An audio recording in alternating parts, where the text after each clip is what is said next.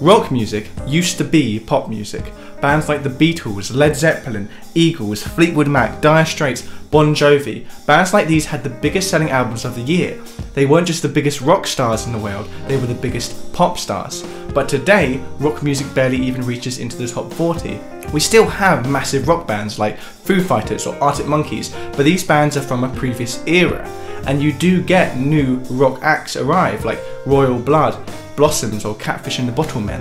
And yes, they do get number one albums, but their successes are nowhere near the same level of magnitude as the rock bands of the past. So I wanted to work out when exactly rock music disappeared from the charts, and then maybe that would help me work out why. So what I did was I made a spreadsheet. I decided to look at the top selling albums from each year from 1960 to 2017 I looked at the top 10 best selling albums of each year in the UK, and I looked at the top 5 from the US. So I went through each year and put the top selling albums into my spreadsheet.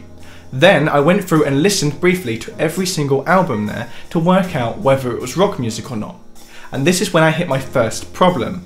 Wait a minute, this sounds like rock and or roll. What is rock music? Genres are notoriously hard to define and their definitions evolve over time. So what I did is I focused on the one element of rock music that I think everybody hears and instantly thinks of rock. Distorted electric guitar. So in the end, this is the definition I came up with for what a rock album is. An album where four or more tracks feature prominent distorted electric guitar. So, going back to my spreadsheet, I was able to go through every album and mark down whether it was rock music or not. And then that allowed me to come up with a percentage of each year, 1960 to 2017, of how much rock music had been in the end of year album charts. And once I had a percentage for every single year, I was able to plot them onto this graph. So, just to explain the graph, I have the years along the x-axis at the bottom, and the percentage of end of year albums that were rock albums up the y axis. And you can already see at a glance the general shape that I was anticipating a peak of rock music in the 60s and 70s with a slow decline up to the modern day. But let's look more closely. As you might expect, the 60s really kicks rock into gear. In 1964, for example, four of the biggest selling albums in the UK were by the Beatles. And by 1970, rock is really dominating with bands like Led Zeppelin, Chicago, Santana, Deep Purple all having massive selling albums. But if we move along to the 1980s, as many of you would have predicted, we see our first major dip in rock music. 1984 in particular, it reaches a real low, and when you look at the bands that were topping the charts that year, you get an idea to why. Wham, Frankie Goes to Hollywood, Culture Club, these are all bands who use one particular thing synthesizers. Synths have been around for a long time now, at least from the 1960s, but it was the 1980s when they finally got adopted fully into pop music and started taking on the roles that were traditionally filled by guitars. So the rhythm roles, playing the chords, playing lead melodies, these roles fell to synths instead of guitars and started making the music less rocky. But that is certainly not to say that the 1980s didn't have its own rock music. 1985, for example, we have Dire Straits, Bruce Springsteen, and Bryan Adams. But as we go forward into the 90s, you can see that it's still dropping. We do get a resurgence in 92, 93 with bands like Nirvana in America, and in the UK, Britpop arrives around 95 with bands like Oasis, Blur, and Pulp.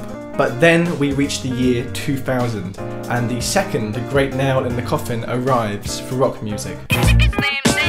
In the year 2000, when Eminem gained major mainstream success, it opened the floodgates for rap music being in the charts. It was now acceptable to have rap music on the radio or rap music integrated into other styles, and as of 2017, it's one of the most integral styles in the charts. But even in the 2000s, rock isn't dead yet. 2006, we see indie rock arrive with bands like Arctic Monkeys, Kooks, Razorlight, and in the US they have Nickelback if you can count them.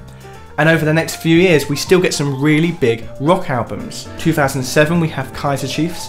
2008, we have Killers. 2009, we have the Kings of Leon. And then we reach the year 2010. And this appears to be the year that rock stopped being pop the year that the biggest new rock act on the scene was Mumford & Sons. Now, what I think has happened here is something that has been happening ever since Britpop, and it's something I would loosely call the Coldplay effect. Since the mid 90s, it became more and more common for rock bands to swap their electric guitars for acoustic guitars. Bands like Coldplay, Travis, and Snow Patrol took what we knew as rock music but focused more on the acoustic elements, on the more somber elements, and ultimately made the music less aggressive and less rocky. Anyway, back to the graph. 2011 and 2012, we see no rock albums in the end of year charts, and this is the first time this has happened since the 1950s. 2013, the Arctic Monkeys come out with AM, but as I've mentioned before, they were already an established rock band. We had no new rock bands coming through. 2014, we have Pink Floyd. 2015, we've got nothing. And 2016, we have got two rock albums, and they're both by David Bowie. But if it really takes the death of David Bowie to get rock music back into the charts, I think we've got a problem. And that takes us to 2017 and this is what we had in the UK as the top 10 best selling albums in 2017.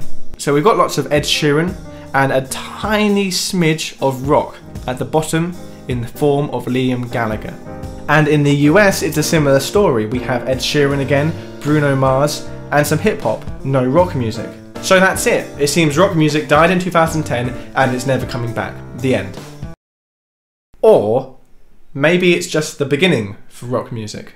See, once upon a time, between roughly 1900 and 1960, there was another genre of music as the cornerstone of pop. Not rock music, but Jazz musicians like Louis Armstrong, Frank Sinatra, and Glenn Miller weren't just the biggest jazz musicians of their time, they were the biggest pop stars of their time. But then in the 1950s, this new style of music comes along with exciting electric guitars and begins to push jazz out of the charts. Jazz continued on in the charts until about the 1970s, but was slowly pushed out and became more of a niche alternative music rather than the mainstream that it was before. And it's dying. It's dying, man. And the world says, let it die. But no matter what Ryan Gosling says, jazz isn't dying and it's certainly not dead getting pushed out of the mainstream and becoming its own niche world of music actually did a lot of favours for jazz music. It meant that musicians like John Coltrane, Miles Davis, and Herbie Hancock could take jazz to new exciting places and make it a style of music that focused on innovation and new ideas. Jazz today operates in its own little world, much like classical music does, with its own approaches, its own values, and its own dedicated following. So maybe acoustic music, electronic music, and hip hop are to rock what rock was to jazz. Maybe rock is done in the charts, but this doesn't mean that rock is going to die. Maybe rock now just becomes its own world with its own approach to music and its own dedicated following. And this could be really good for rock music, just like in jazz, when it left the mainstream, it was able to become more progressive, more exotic. Maybe this will happen for rock music now. Maybe rock can go off and become what it's always wanted to be. To me, it seems like we're at that tipping point where rock has only recently left the charts and could either go off and become its own thing or uh, have some resurgence and rejoin the charts. We'll just have to wait and see.